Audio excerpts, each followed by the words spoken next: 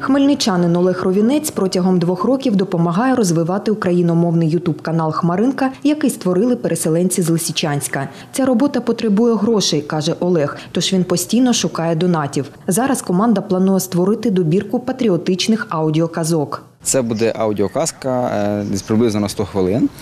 І е, ну, ми вже домовилися з виконавцями, це приблизно обходиться 15 тисяч гривень.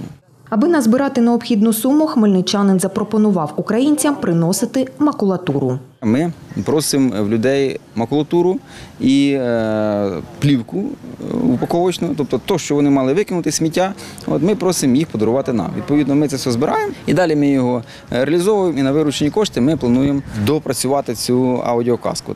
Місцеві жителі відгукнулися в організації пунктів прийому макулатури. Всього по місту їх три. Один з них по Володимирській 92 в офісі адвокатів. Аля Возняк каже, не могла відмовити, бо справа важлива. Погодилися, тому що дуже е, хочемо підтримувати наше українське, тому що наші діти мають рости патріотами справжніми.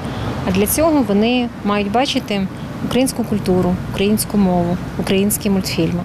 Хмельничанин Анатолій Усов несе до пункту картонні коробки. Каже, про акцію дізнався з інтернету. В Фейсбуці побачив пост, що збирають макулатуру для того, щоб створювати українські мультики. Чому б не допомогти?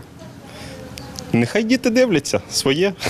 Наразі команді Хмаринка вдалося зібрати більше 7 тисяч гривень. Всі, хто хоче зробити внесок у створення патріотичних казок, може принести макулатуру за вказаними адресами. Олена Коновалова, Олександр Горішевський. Новини на Суспільному. Хмельницький.